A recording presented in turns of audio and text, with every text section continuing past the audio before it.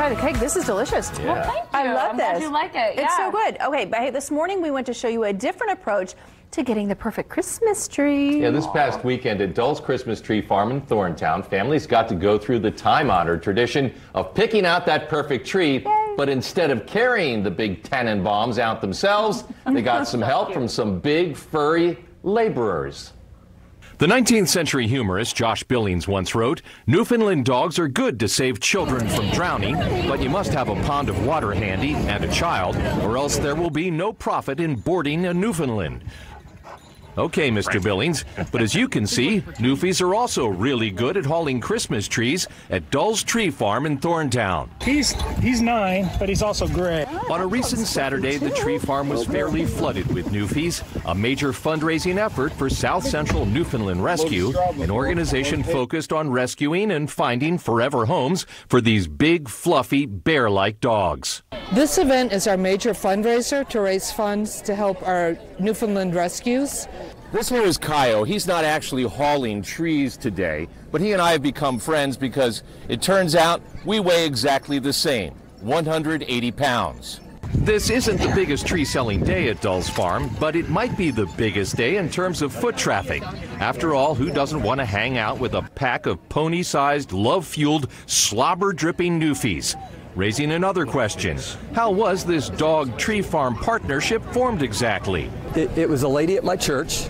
Uh, she was a nurse, and one of the other nurses that she worked with said, "Do you know of any tree farms that we might be able to, to take our Newfoundlands out to and and pull trees up from the field for their customers?"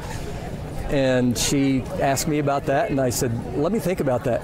Well, yeah, because how cool is that to to be able to come in and have your tree pulled up uh, with a dog? So call this annual event a win win win. Dull's Tree Farm gets a lot of visitors. South Central Newfoundland Rescue raises a lot of money. Oh, and everyone has a lot of fun. Actually, today, my favorite one is this little girl right here named Abby that has made good friends with Vinny, this puppy. Literally, she's been on the ground rolling around with him. And that's what this is kind of all about, making memories. Thank you. Oh, we should- that's sweet. We should point out that Newfies are not for everybody. Oh, but they are. Right. They're adorable. fantastic dogs. They're great Yes. therapy mm-hmm. dogs. Very big. They slobber a lot. Yeah. Yeah.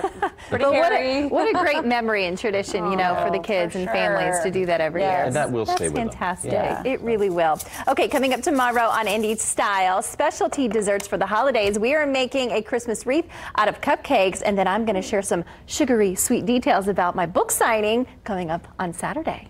Plus, holiday gift ideas for pets Yes. and their Speaking of owners. newfies, right? What do they want for Christmas, perhaps? All right, Lori, let's finish off the star apples with Aren't the these chocolate dessert. adorable? Yes. Yeah, so the, the the chocolate has already hardened and see how cute they are. It's super cute. Yes, and so you just dip your, you can use your cookie cutters to get that star shape or whatever holiday shape you'd like. Dip them in the melting chocolate. You can use candy melts. Sprinkle them like you would a Christmas Yeah. cookie, and there you go. And then letting kids help. And I mean, they just love that in the kitchen. It's such a good lesson for and them. Then, you know, the little rings that you cut out, that's a good little snack while they're making Yeah, it. there I, go. I- I just love the contrast of the fruit and the chocolate. It's, it's like peanut butter and chocolate. Yeah. You're it's right. just, you know. and it goes uh, so well Can I together. try think one we of them? forget. Well, yes, of Okay, course we'll you try one can. How long do they sit for? or did they, they well, go I in the fridge? No, this was just. I mean, we we dipped these at the top of the last segment, so. Oh, oh, the okay. Chocolate hard. So those were those? Yeah, like six. Those were those. Yeah. yeah. This is really good, and I like the sprinkles on there too. Isn't that cute? Yum. Very Okay, festive, where so- can we go to maybe find all the recipes?